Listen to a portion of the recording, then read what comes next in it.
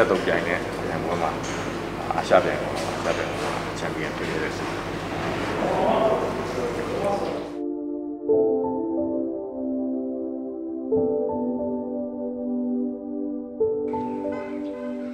ငယ်စဉ်ကတည်းကဖခင်ဖြစ်သူဖွင့်လှစ်ထားတဲ့ဘီလီယက်ခုံမှာကိုညီလောက်ကန်ရင်အသက်49နှစ်အထိဘီလီယက်နဲ့စတူကထိုနီကိုဒီဇိုင်းတမတ်မတ်ကစားခဲ့တဲ့မြမလေးစဉ်ကစားသမားတယောက်အကြောင်းကစိတ်ဝင်စားစရာပါ ကိုနေသေးဦးဟာနိုင်ငံလေရေးစဉ်ဖြစ်သူ့ဘဝတစ်လျှောက်လုံးရက်တည်ရင်မိသားစုနဲ့အတူရန်ကုန်တိုင်းအင်းစိန်မြို့နယ်မှာနေထိုင်လက်ရှိတာဖြစ်ပြီးနိုင်ငံကိုယ်စားပြုပြီးအောင်မြင်မှုများစွာရယူနိုင်ခဲ့တာလည်းဖြစ်ပါတယ် around long enough to know when a car is making moves similar to I understand where we ဒါတော့ I want to embellish Not safe. But that's not true. Not bad. ပြီးခဲ့တဲ့လကအိန္ဒိယနိုင်ငံမှာကျင်းပခဲ့တဲ့ 2019ခုနှစ်အာရှဘီလီယံချန်ပီယံရှစ်ပြိုင်ပွဲနဲ့အာရှစနူကာ U21 ပြိုင်ပွဲမှာမြန်မာကစားသမားနေသေးဦးကပြိုင်ပွဲကစားသမားထိုင်းနိုင်ငံသားပရာပုတ်ကိုနိုင်ရရှိခဲ့တာဖြစ်ပြီးချန်ပီယံဆုဖလားရရှိခဲ့တာပဲဖြစ်ပါတယ်။1996ခုနှစ်နောက်ပိုင်းမှာဒါအာကစားအနေဖြင့်နိုင်ငံတော်ကသတ်မှတ်ခဲ့တဲ့ဘီလီယံနဲ့စနူကာအာကစားအနေကို1996ခုနှစ်တွင်ဖွဲ့ချုပ်စတင်ဖွဲ့စည်းနိုင်ခဲ့တာဖြစ်ပါတယ်။ ခြားခြားတော့မရှိပါဘူးပုံမှန်လှူရှားမှုလို့ပြောမှာပေါ့ဟိုဘယ်လိုပြောမလဲဒီကစားနည်းမှာအချိန်ပေးရတယ်ဆိုတာလည်းအမှန်ပါပဲဟိုတကယ်အောင်မြင်တော့ဒါအောင်မြင်တဲ့အရာသာချုံနေတာပါဟိုပြန်မမနဲ့လောက်ရတာကြတော့အဆင်မပြေပါဘူးအဆင်မပြေတာများတော့မနေ့ဆိုရင်ကျွန်တော်တို့ကစက်ရုပ်တရုပ်လို့ပါမနေ့ဆိုအေးရထားတယ်နဲ့အေးရထားတော့ training ချိန်က9နာရီစမှဆိုကျွန်တော်အိမ်ကနေပြီးတော့မနေ့9နာရီပဲ10နာရီကိုထွက်လာတာအဲ လမ်းနေရာလေးကျက်တော့ခုနကိုကားနဲ့ကိုဆိုပေမဲ့9နာရီခွဲကြော်တာနဲ့အဆင်မပြေတော့ကံမောင်းရတာအရင်ကဆိုကျွန်တော်ကဒီလက်ရေးစဉ်ဖြစ်ပြီးတော့ဒီချန်ပီယံစုတွေမရခင်ပေါ့စီးကိန်းမှာပဲစုတွေရတဲ့အချိန်မှာကျွန်တော်ကကျွန်တော်တကယ်ချင်းနေတဲ့ဒီတန်သေးတို့နေဝါတို့မှာကျွန်တော်တို့ကလေ့ကျင့်ရတာအောင်သမ်းဝဲဆိုတာလည်းကျွန်တော်တို့စီနီယာကစားသမားတွေနဲ့အချိန်မှပဲလေ့ကျင့်ရတာအဲ့တော့မနေ့ပိုင်းဆိုရင်အခုတည်းပို့ပြီးတော့ဝရီရထားရတယ်ကျွန်တော်တို့က လိုင်းကားလို့စီရတာလိုင်းကားလို့စီသွားခဲ့ရတာညဘက်ဆိုလည်းတနားကြီးနှစ်နာရီဝယ်ရရှိရင်ကစားရတယ်အဲကျွန်တော်တို့ရဲ့ညီကိုတွေအမ်ကူလူပါတို့အခုကလပ်ဖန်လာတဲ့လူတွေပါကားရှိတဲ့လူတွေကလိုက်ဖို့တော့ပဲလိုက်မဖို့လည်းကားငါးပြန်တော့တနားကြီးနှစ်နာရီဆိုဗီဒီယိုထိုးရင်အချိန်ကုန်တာတော့စိတ်ထဲမှာမရှိမရှိတော့ဘူး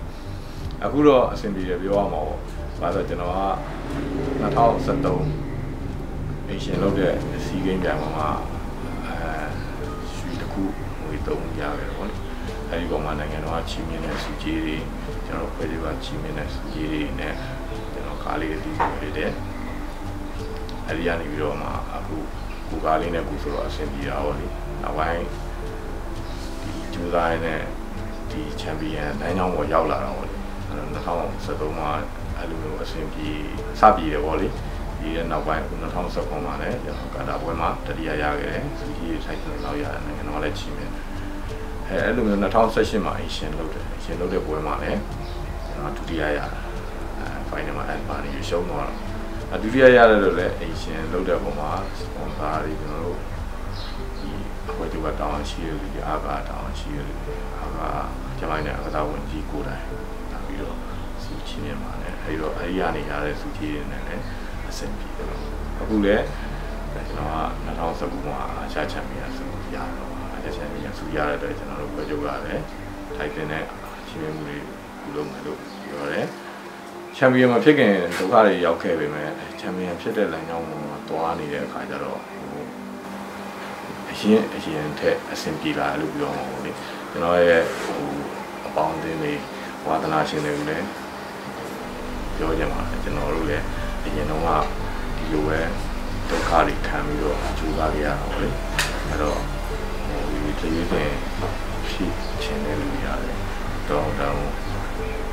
ကိစ္စတွေကိုနင်နာခံပြီးတော့ဒုက္ခတွေခံပြီးတော့ကြိုးစားပြီးကြပါမယ်တကယ်တည်းအများကြီးဟောတော့ပြောတယ်မှာ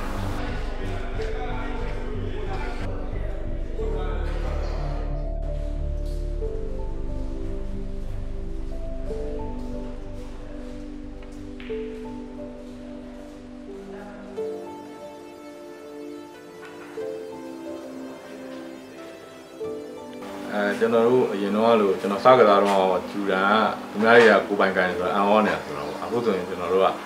ကျူတန်အစင်းနဲ့ပြောင်းလာတော့ကိုရေးလိမ့်နဲ့အဲတင့်တော်မှကျူလို့ပါအခုဆိုလည်းကျွန်တော်ကကစားရဲဆိုရင်သူများတွေလည်းကိုပိုင်ကျူနေကစားတာကျွန်တော်ကိုယ်တိုင်လည်းကိုပိုင်ကျူနေကစားတော့ဒီကျူကိုအများနဲ့တည်သွားတာပေါ့လေကျွန်တော်ကျူ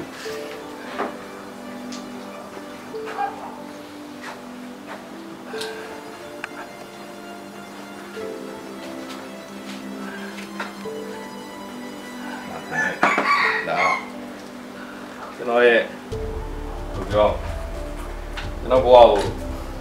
ကြောင်းလဲပေးနေတဲ့လက်နက်ပေါ့လေဒါဒီဟာနဲ့ပဲဒီဟာက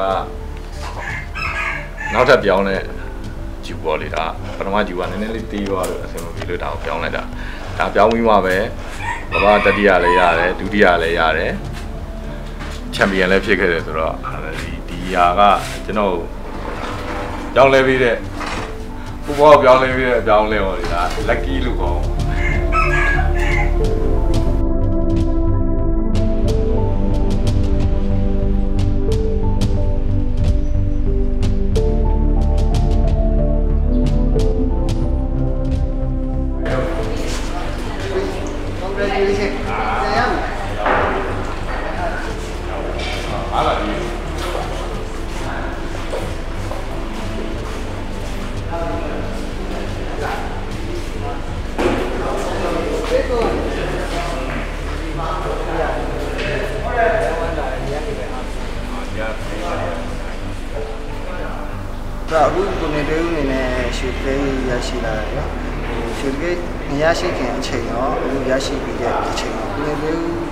ဒီမှာလာလေ့ကျင့်လို့ရှိရင်မနေ့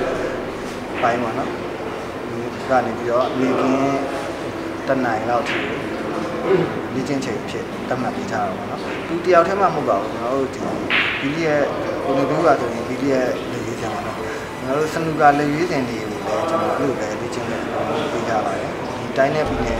ငယ်ပိုင်းသမားလေးတွေလည်းလာရောက်လေ့ကျင့်လို့ရတယ်။ဒီမှာ National Plus ကနေပြီးတော့ဒီကစားနည်းတိုးတက်ဖို့အတွက်ရှေ့ရှုပြီးတော့အကျိုးမြတ်ပြီးတော့ကြည်တာမဟုတ်ဘူးเนาะကျွန်တော်ကအဓိကကဒီကစားနည်းကိုချစ်မြတ်နေတယ်ဒီကစားနည်းဖွံ့ဖြိုးတိုးတက်လာဖို့အတွက်ရနိုင်ငံတော်စုစည်းစိတ်တွေရရှိလာဖို့အတွက်ဖြစ်ရည်ရွယ်ပြီးတော့ကျွန်တော်တို့က club လေးလုပ်ဖြစ်တာပေါ့ အဲကျွန်တော်အမြင်ပြောတာဟောလေကျွန်တော်လည်းဟိုလမ်းမရတက်လာတာပေါ့လမ်းမရတက်လာဆိုတော့ဟိုအများကြီးกว่าပါတယ်လမ်းမမှာကစားရတာအခုဆိုရင် ကျွန်တော်တို့ကဟိုဒီကစားနေဖွံ့ဖြိုးလာလို့ဒါအဲပတ်စံခါချင်းတွေရလဲများများခုန်ကြီးကောက်ပြီးတော့ဟိုအဲကွန်နဲ့ကစားကစားဖို့လုပ်ပြီးတာပေါ့လေဒီခုန်ခဲတို့ဘောလုံးတို့ဆိုတာအများကြီးกว่าပါတယ်ကျွန်တော်ရှိမှာဟိုဘယ်လိုပြောရမလဲပြောရမယ်ဆိုရင်တော့ကျွန်တော်တို့ လမ်းမေးကနေတက်လာပြီးတော့အဖွဲကျုံမှာစပြီးတော့ကစားရဲကကျွန်တော်တို့ကဒီ aircon နဲ့ကစားတာ ဒီအခန်းတစ်တင်နဲ့ကစားတာဘောလုံးတစ်တင်နဲ့ကစားတာအများကြီးกว่าပါတယ်ကျွန်တော်အခုလေးကျင့်နေရင်လည်းတောင်မှပဲတခုပြောချင်တာကျွန်တော်တို့အခုလေးကျင့်တယ်လေးကျင့်တာတော့ကျွန်တော်တို့လေးကျင့်တဲ့ခုံကခင်းကဟောင်းနေပဲဘောလုံးကဟောင်းနေပါကျွန်တော်တို့ပြန်ခွဲသွားပြန်ရင်အဆင်မပြေပါဘူးအဲ့တော့ဒီစုတသိတွေရတာလည်းကျွန်တော်တို့ရဲ့အဖွဲကျုံနဲ့အားကောက်ကျေးဇူးတင်အောင်ဘာလို့လဲဆိုတော့ကျွန်တော်တို့အရင်တော့ဆိုရင်ပုံခင်းတစ်ခုကို၄၅6လနေမှာတစ်ခါလဲပြီးတော့ အဲလဲပြီးတဲ့တော့ဘာဖြစ်လဲဆိုတော့ဟိုမှာတောင်းကစားတဲ့အချိန်မှာကျွန်တော်တို့ဘောလုံးကန်တုံးနေနည်းနည်းကွာအောင်အခင်းရဲ့လိမ့်နာတွေဘောင်းနေမျောတာတွေကကွာပါတယ်အဲ့တော့အခုဆိုရင်ဘာလို့ဘယ်လိုဖြစ်လဲဆိုတော့သူလူတွေရရှိလာတဲ့အပေါ်မှာလည်းစိတ်ဝင်စားကြတယ်ငွေကုန်ကြီးကြလည်းခံလာတဲ့ပုံမှာကျွန်တော်တို့ပြန်ခွဲသွားကန်ဒီ15ရက်လောက်အလုံးမှာကျွန်တော်တို့ပုံမှာသွားပြန်ရမှာခုံဘာခုံလဲကဘာပွဲဆိုခုံတစ်မျိုးအခင်းတစ်မျိုးအရှာပွဲဆိုတော့အခင်းတစ်မျိုးခုံတယ်မျိုးသူ့ရဲ့ sponsor ဘောမှာမူတည်တယ်သူ့နိုင်ငံရဲ့ sponsor ဘောမှာကွဲသွားတော့ဗောလေ ကျွန်တော်တို့အာရှဂိမ်းဆိုရင်ဒါဝီယာကနဲ့ပြိုင်တယ်အခင်းရတယ်ဆိုရင်အကဘာပွဲဆိုရှန်တာနဲ့အဲ့လိုမျိုးပေါ့အဲ့လိုပြိုင်တဲ့ပုံမှာကျွန်တော်တို့ကပွဲကြိုးကနေပြီးတော့သွားကန်ဒီတစ်ပတ်10ရက်အလိုမှာကျွန်တော်တို့ကိုယ်တိုင်ကလည်းတောင်းဆိုတယ်သူဘက်ကလည်းလက်ရောပြီးတော့သွားပြီးတော့ပြိုင်ရမယ်ကစားကြီးပုံခင်းမဲ့အခင်းကစားမဲ့ဘောလုံးတဲ့အဲ့လိုမျိုးကဘောလုံးအတင်းနဲ့အဟောင်းမှာလည်းသူကကြွေရှိတယ်အပေါ်မှာအဲ့ဒီကြွေကြောင့်ဒီ ကန်နှုံးနေလွင့်လာတယ်မတူအခုတကလက်အစ်ခင်းလိုက်တဲ့အတွက်ခုံခင်းတစ်ဖြစ်တဲ့အတွက်ဒီဘောင်ရဲ့ထိတဲ့နေရာကနေပြီးတော့ပြန်လာတဲ့နှုံးနဲ့နေရာလည်းမတူဘောင်မျောတယ်ပေါ့လေမျောပြီးပြအောင်ပြောတယ်အဲ့လိုမျိုးတွေအများကြီးပေါ့အဲ့တော့ကျွန်တော်ကိုယ်တိုင်လည်းဗီဒီယိုစာဆိုတော့လေယူတင်ပြောတော့ထိုးမရဘူးချွေးပြန်တယ်ဘောလုံးအဆုပ်ပြန်တယ်ကိုကျော်လို့ဆိုအများကြီးပြောတာကျွန်တော်တို့ကနားမလဲဘူးဒါပေမဲ့ကိုကိုယ်တိုင်တကယ်တမ်းကစားလာတဲ့ခါကျတော့ဒါတွေကနားလဲတာ တကယ်တမ်းအပြင်ကလူတယောက်ကဒီကကြားရဆိုရင်ကျွန်တော်တို့ကိုယ်တိုင်လည်းပြောခံအောင်ပါဆိုတော့ဝါဝါလည်းပြောခံအောင်တကယ်လည်းအဲကွန်မင်းကျွန်တော်တို့မထိုးတတ်တော့ဘူးအပြင်ကုန်းတွေမှာထိုးဆိုလဲကျွန်တော်လေယူနေထိုးနိုင်အောင်မဟုတ်ဘူးအပြင်လူတွေကိုလည်းနိုင်ဖို့ခက်ပါတယ်အပြင်ကလူတွေကလည်းတကယ်တမ်းကျတော့အထဲထဲကိုတကယ်တမ်းမလေးကျင်းတဲ့အခါကျတော့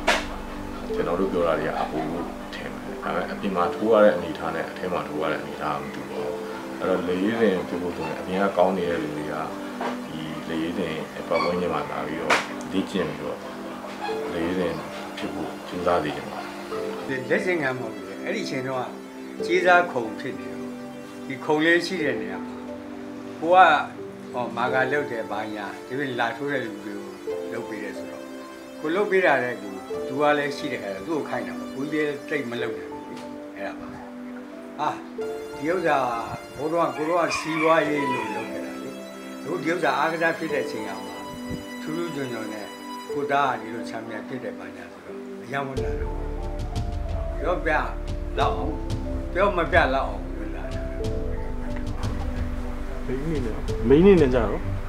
ဒီရတော့ပြောမနေနဲ့အရင်ဝင်တာပြောသားရွှေရတယ်ဆိုတော့မိဘနဲ့ဖက်ပြီးခေါ်လာတာပြောမနေနဲ့ချီအောင်လာတော့မွေးတော့တယ်ခေါ်နေရဲ့ ကြည့်ရကောင်းအောင်ပြောသေးကအခုအဲ့တဲ့ထဲမှာမလားကောင်းအောင်ခေါ်လေးရတတိထားအဲ့ဒါဟောဒီအဲ့ဒီဥစ္စာဟိုငကိုတဲ့ကောဒီကောင်ကအိမ်မှာလဲတိတ်နောက်ကြတာမရှိဘူးနောက်ကြရင်လည်းအကျိုးအကြောင်းနဲ့ပတ်သက်လာလို့ဒီအားကစားနည်းနဲ့ပတ်သက်လာလို့နောက်ကြတယ်အဲ့တော့အဲ့လိုနောက်ကြတဲ့အတွက်လည်းတိတ်ဆွေးစိမ်မရှိတော့ဘူးလေဘာဖြစ်လို့လဲဆိုတော့ ဒီကလေးရဲ့ဟိုနဲ့သူ့ရဲ့ကာရိုက်တာကအတောက်စားလည်းမရှိဘူးဟိုအကြောင်းမရှိဘဲနဲ့လည်းနောက်မကြတတ်ဘူးအဲအဲ့ဒါတွေကိုသိနေတဲ့အတွက်တိတ်တော့မဆွေးဘူး1996ခုနှစ်နောက်ပိုင်းမှာဒါအာကစားအနေဖြင့်နိုင်ငံတော်ကသတ်မှတ်ခဲ့တဲ့ဘီလီယံနဲ့စနူကအာကစားအနေကို1996ခုနှစ်တွင်ဖွဲ့ချုပ်စတင်ဖွဲ့စည်းနိုင်ခဲ့တာဖြစ်ပါတယ်။